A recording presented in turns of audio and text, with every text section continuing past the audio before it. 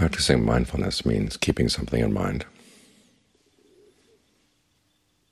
Practicing right mindfulness means keeping two activities in mind that we're going to be doing here as we meditate. One is being with the breath. The Buddha calls this keeping track of the body in and of itself. In other words, you don't think about your body, how it looks to other people, how it looks to you, whether it's strong enough to do the work you want, how much longer it's going to last. Just be with it right now, your sensation of the body right here. That's something you know you've got right here. That's, as Ajaan Fuang said, if you can doubt the fact that you're breathing, then you doubt everything. There's nothing certain in the world at all. So focus on something that's sure. You've got the body here. You've got the breath coming in, the breath going out. That's one of the activities, staying with the sensation of the breathing. The other activity the Buddha calls putting aside greed and distress with reference to the world. All your thoughts about what you want out of the world, your things that you've been disappointed with in the world. Put those aside. The problem is we're very quick at picking them up. Even though a lot of those issues are not right here, right now, we create them and then go into them. They become little worlds. We're so good at that, creating worlds for our thoughts, worlds for our emotions, and then entering into them, losing our bearings here with the breath. So one of the things you have to take apart is not only your greed and distress with reference to the world, but just any reference to the world at all.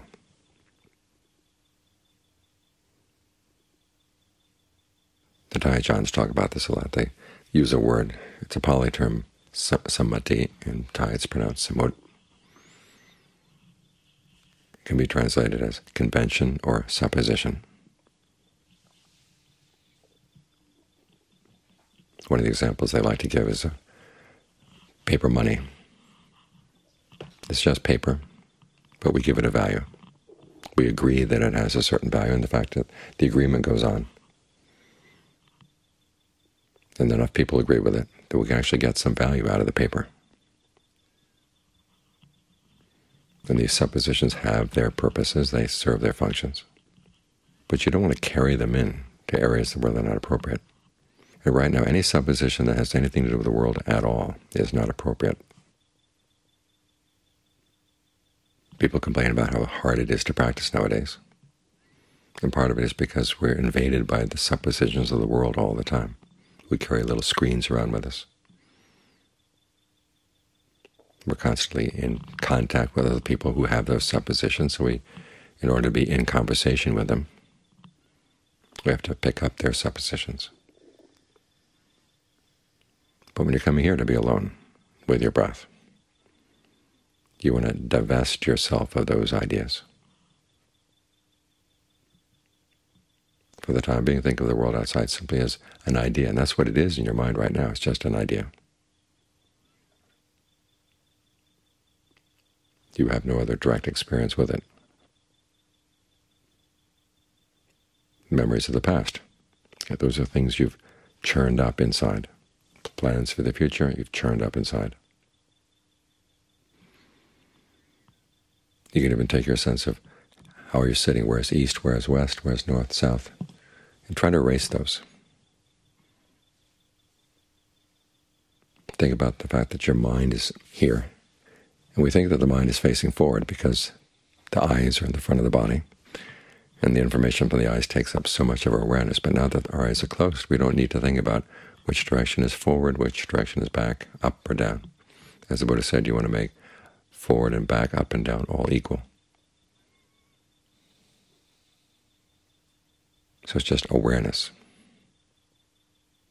That's just one of the conventions of the world that we've brought in. The more of these conventions you can put aside, the more of these suppositions you can put aside and see them as suppositions, things you've supposed into being.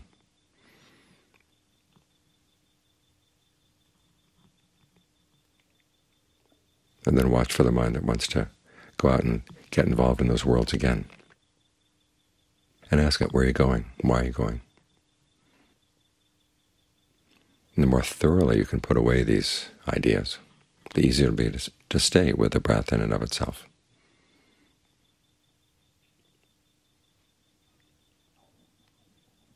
And develop your sensitivity for what's actually going on right here, instead of knowing so much about out there. Ask yourself something simple. The Buddha starts out with something very, very simple. He says, you discern long breathing, you discern short breathing. It's interesting that in his instructions for breath meditation, the only place where he uses the word, or in this case the verb to discern, is in the very first step, discerning long breathing, discerning short breathing. How are you going to know if a breath is long or short? Well, you have to be mindful. And then on top of that, you have to make comparisons. Is this breath longer than the last one, or is it shorter? That requires that you remember the last breath, and you can compare it. It's not like you can put two breaths side by side next to each other. The last breath is gone while you're with this breath, and yet you're able to compare it. What, what are the functions of the mind that allow you to do that? It's mindfulness and discernment. You're passing judgment.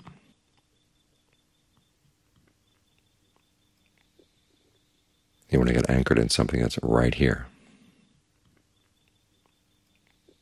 something you don't have to suppose into being. But you do have to exercise some mental functions. And you want to get good at that. You want to get good at keeping something in mind that's relevant to what you want to do, and have that ability to make comparisons. You read so much about what's wrong with the judging mind or the comparing mind. But the only place I ever saw the Buddha counsel against the judging mind is when he says, don't try to judge other people's attainments. You can never really know for sure what someone else's attainment is. But you do want to pass judgment on which people are good to hang around with, which people are not, and which mental states are good to hang around with and which ones are not.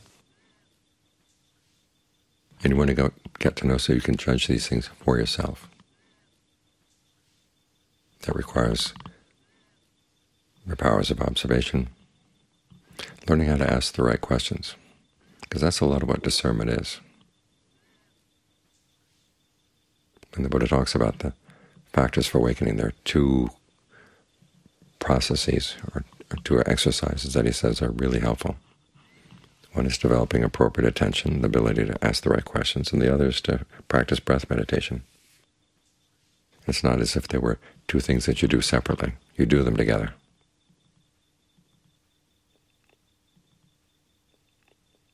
You focus on the breath and you bring the right questions for the breath and for your mind's relationship to the breath. We're here looking at three things, basically, the breath, the feelings that come up from the breath, and then the mind state that watches, and that is soothed by the breath. The mind is both on the receiving end and on the proactive end. On the proactive end, it tries to figure out which kind of breathing is more comfortable, long or short. Because that's what appropriate attention is. It asks you which kind of things are having a good effect and which kind of things are having a bad effect.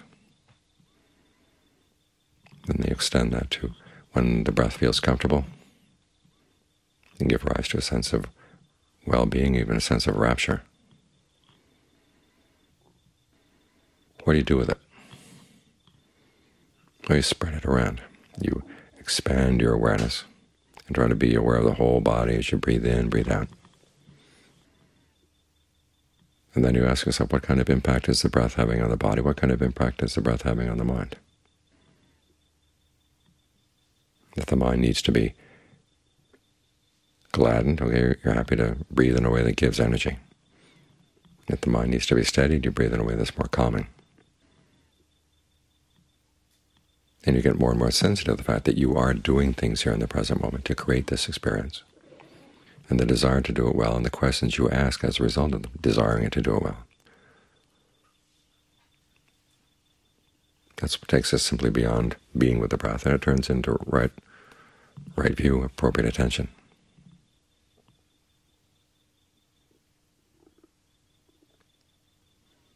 And once the mind feels soothed by the breath, it'll settle down. The breath itself then, as the mind settles down and gets more steady, the breath will get more and more calm.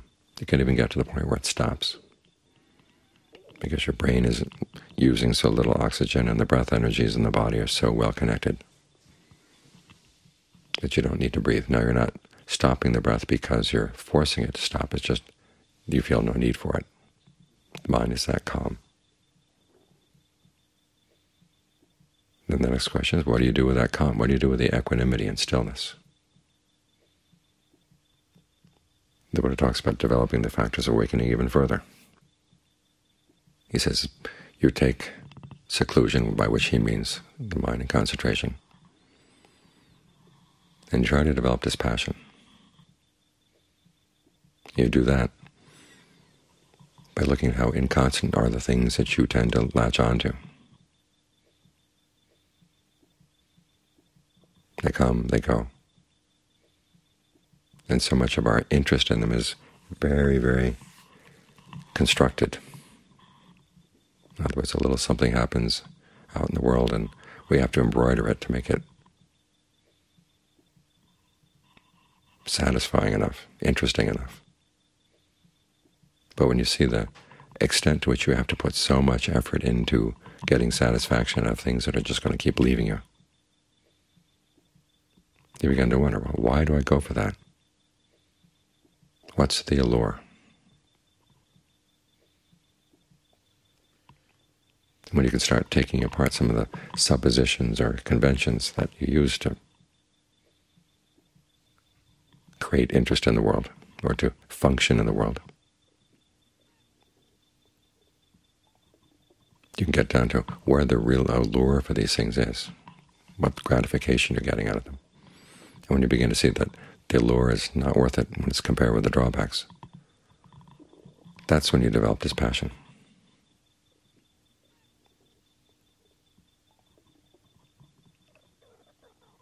And you're interested in all these things that you fabricate begins to cease. The fabrications themselves begin to cease. And it's there as you keep analyzing what's going on. But it's a very subtle kind of analysis on top of what you've done here. The mind finally lets go, and let go, lets go of everything.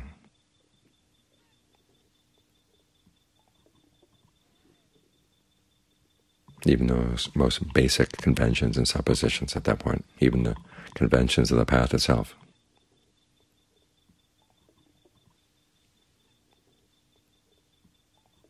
This is something that can be done. It's not just a story that comes from ancient India. We read the stories about people gaining awakening, listening to the Buddha, and you wonder, why is it so easy for them so hard for us?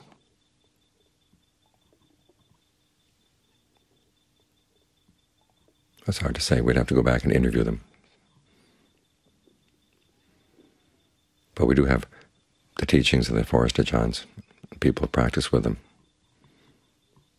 They say that it still can be done. It may be harder now.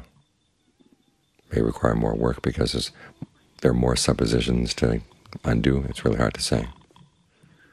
But a lot of it has to do with our willingness to put our suppositions aside step back from even the most basic things we assume about ourselves and we assume about the world.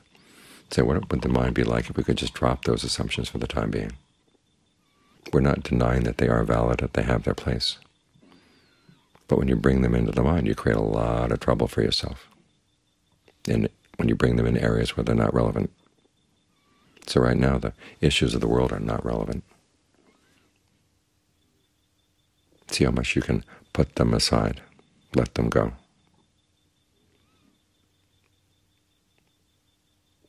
and focus on what needs to be done to get the mind to settle down, to develop these qualities of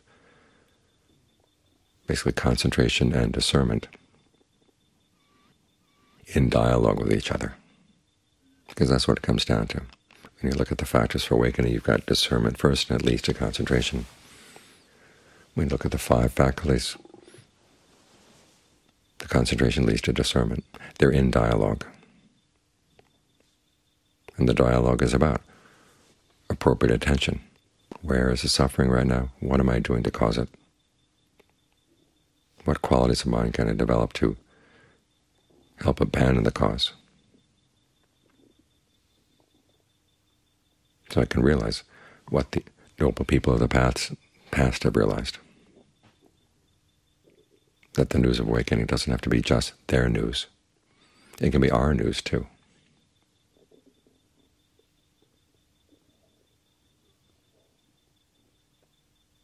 But you have to remember that putting aside of suppositions is not just something that happens at the end of the path.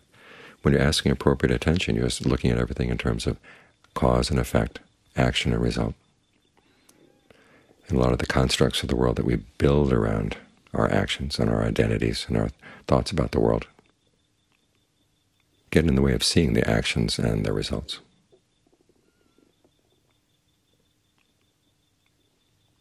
So get your discernment in dialogue with your concentration to strip these things away.